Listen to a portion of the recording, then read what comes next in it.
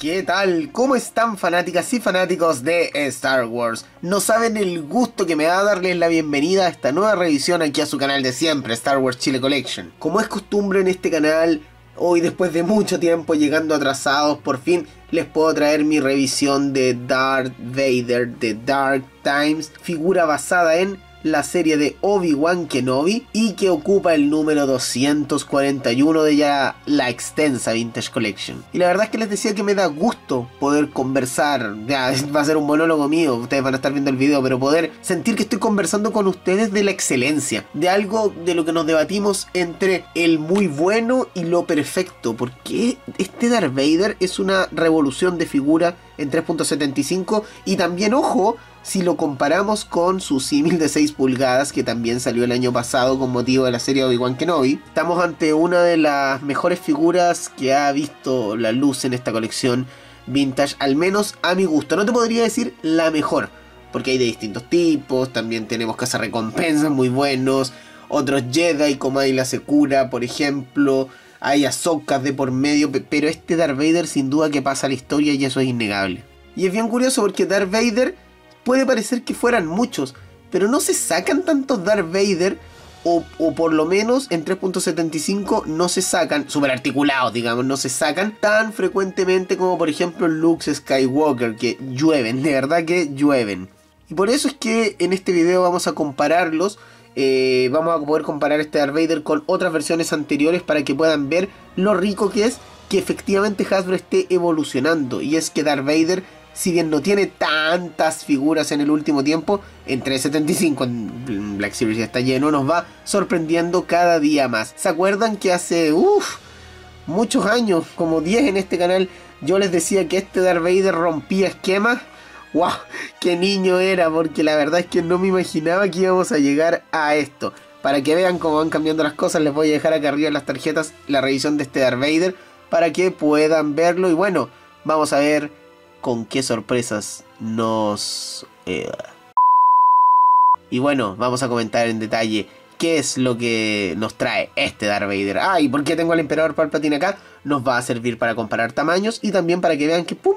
ya se viene una revisión de este. Antes de analizar la caja, un gran saludo a mi gran amigo Juan Artigas por haberme cedido este Darth Vader cuando llegaron a Chile ya, uff, hace lejanos 8 meses. Darth Vader The Dark Times, me encanta que se haya rotulado aquí como The Dark Times, glorioso.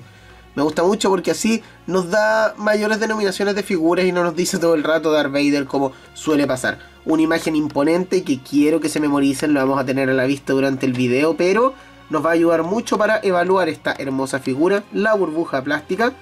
Eh, estos empaques 2022 son más duros que los clásicos en, en Vintage Collection, solo para que lo recuerden. Vamos a ver acá. Ahí como les dije, figura 241. Las otras de este wave. Uy, la luz le está dando. Obi-Wan Kenobi Wandering Jedi, que ya lo tengo. Riva, que ya lo tengo. Esas dos tengo que hacerle revisión. A Anakin también. Este Mandalorian Super Comando también. Uy, tengo casi todas estas figuras que les debo revisión.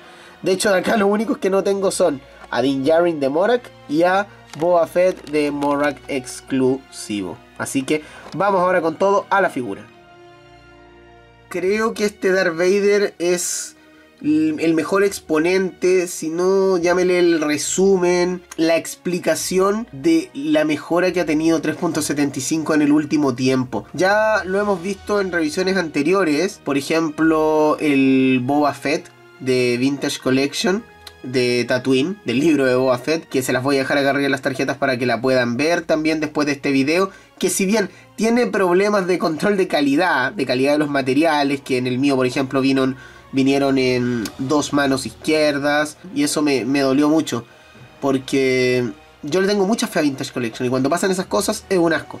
Pero como figura ese Boba Fett progresó mucho. También progresó mucho Darth Maul en el último tiempo, las Ahsoka Tano, entonces me alegra que ya el 2022 podamos ver la consolidación de la calidad.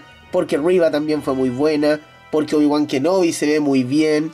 Porque para este 2023 em, luce súper bien Andor. Ha mejorado la 3.75 y este Vader encapsula todo eso. Vamos a ir comparando, como hay muchos Vader con los que competir durante avance esta revisión, vamos a irlos comparando para que puedan verlo. Y lo primero es que este casco de Vader es realmente el, el definitivo.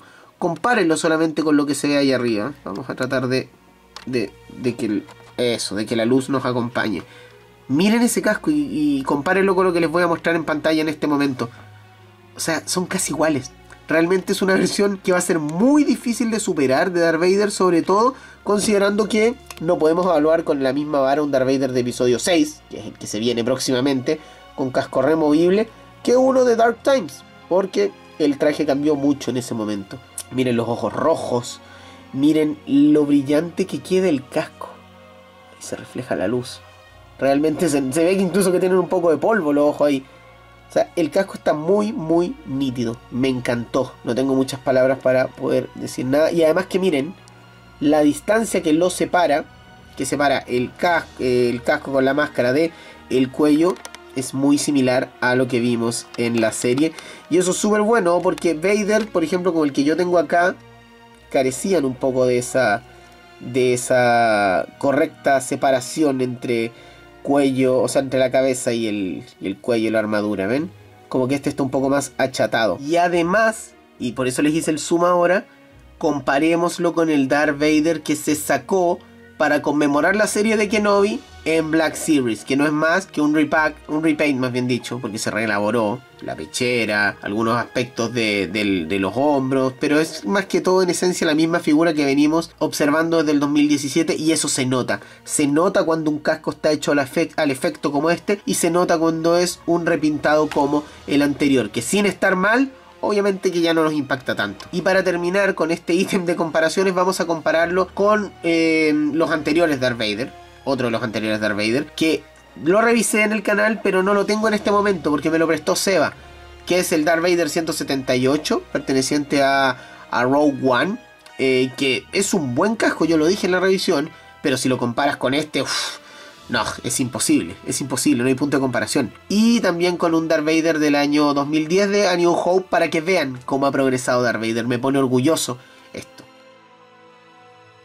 El traje está hermoso y no solamente por el diseño empleado, sino también por lo armónico que es consigo mismo. Por ejemplo, miren acá. Acá atrás, para facilitar la articulación, la hombrera, aparte de ser bastante, bastante suave, tiene un corte aquí atrás. Entonces le favorece la estética, por ejemplo, cuando tiene que hacer un doblez. A eso voy con que es armónico con sí mismo. Se nota que es un Vader que está hecho desde cero, ¿sí? Si bien puede tener algún tipo de reempaque o, o, puede haberse utilizado eh, material anterior, no sé, la pechera se me ocurre. Esto yo, yo lo estoy viendo acá en internet, estoy haciendo mis comparaciones. Por ejemplo, la pechera, ya puede ser que se haya reutilizado pero en esencia este Vader está montado desde cero, porque si no nos explica cómo es tan armónico consigo mismo. Me gustan acá los, los brazos que tiene, se le han adelgazado un poco lo que son desde el antebrazo hacia la zona de las muñecas, se le ha adelgazado, eso también me gustó mucho, eh, porque de nuevo se ve más estético.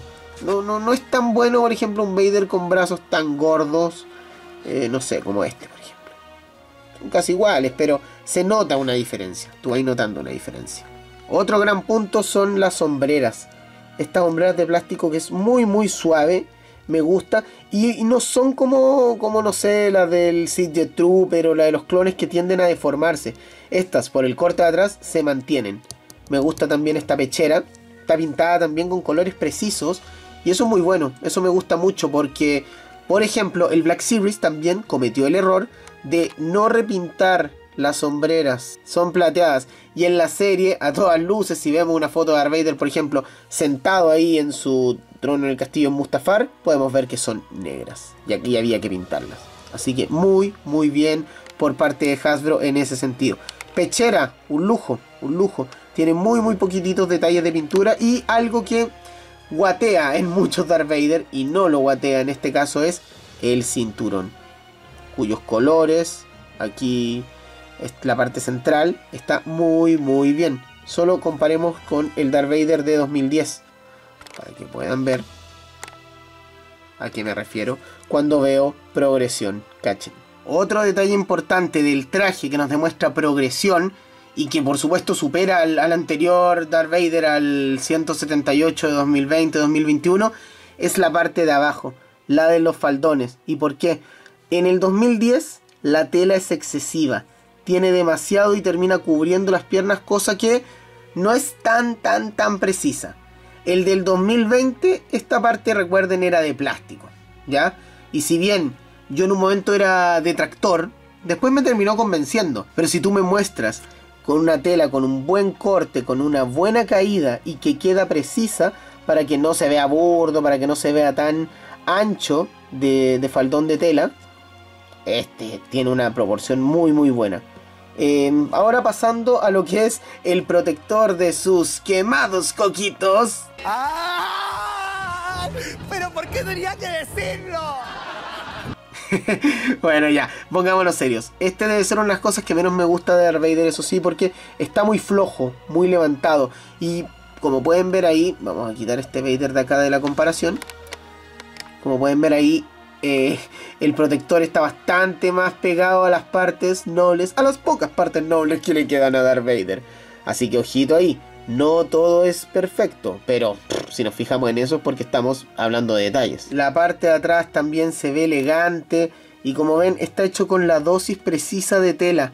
Ya para que no quede ninguna duda de que es un Vader completamente nuevo. De verdad, los Vader anteriores me encantan. sí, me, me gustan mucho pero siempre he pensado que tenían la tela excesiva. En cambio acá el corte está preciso. Ah, y destaquemos también cómo está unida la capa al cuerpo. Acá en este caso, quizá debió haber llevado algún cordelito por ahí, pero si yo les muestro esta escena cuando está utilizando la fuerza para intentar evitar el escape de Obi-Wan Kenobi con, eh, sus, con los refugiados antes de enfrentarse a Riva, se van a dar cuenta que está muy bien unida. De verdad, se preocuparon hasta ese más mínimo detalle. De verdad, chicos, que este Darth Vader, en cuanto ya hemos visto a casco y al diseño del, del traje está muy muy bonito y eso me llena de orgullo, de verdad me llena de regocijo porque de nuevo, insisto, voy a ser majadero, estamos viendo mucha mucha progresión y no solamente en relación a sus figuras de 3.75, a sus símiles, sino que también y muy importante, venciendo a la Black Series. Por lo menos para mí en este momento ya queda claro que la vencedora, si es que las pones a competir, es la Vintage Collection. Por novedad y también por diseño. Y eso que el Vader ese de 6 pulgadas me encanta. Creo que si hay algo que le tengo que criticar al diseño de este Darth Vader es la capa. Y no necesariamente, o sea, me gusta la capa. Una telita muy agradable es bastante larga, o sea, llega hasta abajo, lo cual me gusta bastante porque significa que sería posible recrear escenas, por ejemplo, la que vemos en la caja misma, o lo que les estoy mostrando en pantalla cuando está hablando con los oficiales imperiales ahí en la serie. Pero ¿qué me pasa? Creo que no se ha logrado, no se ha logrado en 375 un Darth Vader con una caída de una capa tan buena como lo que vimos en el Black Series de 6 pulgadas. Les voy a poner un ejemplo en pantalla. Ese Black Series también tiene una capa eh, extensa larga y ancha, pero un poco más adaptada al cuerpo. Esta la veo muy desproporcionada y eso evita que tenga la caída natural, porque obviamente uno puede forzarla, la puede correr un poquitito de esta manera, así hacia el centro, para que tenga una buena caída y pueda tapar a Darth Vader del hombro hacia el pecho, cosa que hace su capa sobre todo en esta serie más que en productos anteriores. De hecho, se ve bastante más pesada que en otros productos ya anteriores o ya posteriores a, esta serie en esta capa. Entonces creo que aquí faltó mucho. Sí, alguien me puede decir, pero Camilo, se puede doblar, como es tan larga, se puede doblar ahí y mejorar la caída. Pero creo que no es la idea. La idea es que se pueda lograr con su capa en todo su máximo esplendor. Ya al final del video lo vamos a comparar con el 6 pulgadas para que vean a lo que me estoy refiriendo. Pero van cachando que no es 100% perfecto. Ahora, de nuevo, no es culpa de este Vader. Este tampoco lo lograba. El anterior de Rogue One tampoco lo lograba. Y no lo lograba el Vader 2012. El que sí estuvo cerca de lograr una caída perfecta fue el de 2014. El Black Series de fase 2 3.75, ¿se acuerdan de ese que por mucho tiempo se ha considerado el mejor Darth Vader de 3.75 o es firme candidato? Creo que en ese sentido ese todavía saca alguna ventaja. Díganme qué opinan en los comentarios. ¿Estás disfrutando de la revisión de Darth Vader, Anakin Skywalker, es decir, el padre? Pues te aseguro que si también coleccionas 6 pulgadas querrás ver una de las más recientes versiones de su hijo, Luke Skywalker Imperial Light Cruiser Black Series, ya disponible en el canal que la vas a encontrar acá arriba en las tarjetas y en un link también en la descripción para que también disfrutes de este contenido. A nivel de accesorios, este Darth Vader también marca mucha, mucha pauta. ¿Y por qué lo digo? Porque incluye cambios de manos. Una mano tanto... Vamos a ver cuál es, cuál... Eh, derecha y la izquierda. ¿Cómo me compliqué en eso? Bueno, una mano derecha y una izquierda. Esta para simular que ahorca con la fuerza y esta el puño, un puño apretado como el que suele utilizar también Darth Vader cuando se enoja. Em, ya las vamos a estar cambiando. Pero también les voy a decir que viene con un sable abierto y uno sellado. El sable abierto lo vamos a tratar aparte, ¿ok? El sable sellado me gustó. Se ve bastante bien. Vamos a ver que la cámara enfoque. Uy, se cayó el Darth Vader. Pero es estable, no se preocupen. Me gusta, me gusta. De hecho, acá se puede colgar y luce bastante bien. Yo siempre lo tengo con el sable sellado colgado. Me da lata, pero el sable sellado se ve bastante, bastante mejor que el sable de luz prendido. Me da lata porque hemos retrocedido en sables de luz de Darth Vader en 375. Tampoco era tan espectacular el, el anterior, el de Rogue One. Y este, el de 2010, es mejor. Comparen, solo comparemos. Por color y también por el, por el, por el mango, observen. ¿Ven? Es una lástima. Una lástima que hemos retrocedido en materia de sable de luz. Eso sí le está pasando un poco a Vintage. Algunas veces nos entrega sables muy buenos. El de Obi-Wan Kenobi a mí me encanta. El de Luke Skywalker a mí me encanta también. El del, el del Luke ahí de... El Jedi Knight me encanta. Pero este Darth Vader me decepcionó. Así que bueno, es yo creo que el peor punto de la figura es accesorio. Vamos a ver cómo lucen estos cambios de mano. A ver. Yo no, no suelo hacer mucho de eso, pero bueno, vamos a verlos. Ahí estamos. Se pone muy fácil. Vamos a ver si esta mano derecha también puede tener el sable. Sí, lo puede tener, pero de forma más incómoda. Esto es claramente para intimidar a los oficiales imperiales. y este es para demostrar su rabia, su enojo me gusta que vengan con cambio de mano. Por eso les digo que esta figura se atrevió a mucho. Y ojo, que eso de los cambios de extremidades no es nuevo y todavía puede mejorar. En materia de articulación, este Vader es lo mejor que hay. En serio, aquí lo decreto, me vuelvo loco. ¡Ah! ¿Pero por qué tenía que decirlo? Miren, Oh, miren cómo se mueve esta cabeza. Unión de bola, increíble. Gira, dobla, la, la, la capa la inhibe un poco, pero ¿qué me importa? Lo que les dije antes, los hombros pueden girar y doblar muy fácilmente porque estas sombreras se lo facilitan. La articulación de codos de Vader es una cosa de locos porque en el pasado era mucho más rígida. Las muñecas giran y doblan y bueno, pueden tener algún tipo de problema, pero... ¡Ay, ojo! Eso es nuevo. La articulación no comienza dentro de, del guante, sino que es directamente de la muñeca. Eso es algo nuevo, porque miren acá. Acá la articulación era de guante, en el del 2010. Torso giratorio, te permite hacer muchas, muchas poses. De repente te descuadra un poco como me pasó a mí ahora, ¿ven? De repente te puede descuadrar un poco lo que es el cinturón y la parte de su super calzoncillo protector de cocos. Pero bueno, no, la idea no es moverlo tanto. Me encanta este split. Aprende Lando Calrissian. Esta es la articulación que hay que tener acá. Vamos a hacerle un zoom para que la puedan ver. Uy, lo hizo muy rápido. Este es el tipo de articulación que hay que tener aquí en la, en la ingle. Miren, con bola. Este Lando, muy bonita figura, uno de los mejores rostros, todo lo que queráis. Más detalles en la revisión que hice que te la voy a dejar acá arriba en las tarjetas para que la veas, pero me carga este tipo de articulación. O sea, no me carga tanto, pero cuando, cuando tengo otra figura al lado que tiene una mejor articulación, uff, me, dan ganas como de llorar pensando en que la otra podría haber sido mucho mejor. Ok, el punto para Lando sí es que este no puede tirar la rodilla, esta, cuando dobla la rodilla no puede ir a los lados. Y eso no me gusta mucho. Pero ojo, no afecta la posibilidad, ya lo vamos a ver. Y luego los tobillos que giran y doblan. O sea, una articulación revolucionaria 28 puntos con 17 áreas, a diferencia de la figura del, del 2014, la de Revenge of the Sith, la que yo les decía que era la mejor, 26 puntos de articulación con 14 áreas, y la de Rogue One, que tiene 25 puntos con 15 áreas. Otro nivel. Y aquí tenemos a Maestro y Aprendiz, eh, Darth Vader y al Emperador Palpatine para nuestro clásico comparador de escalas.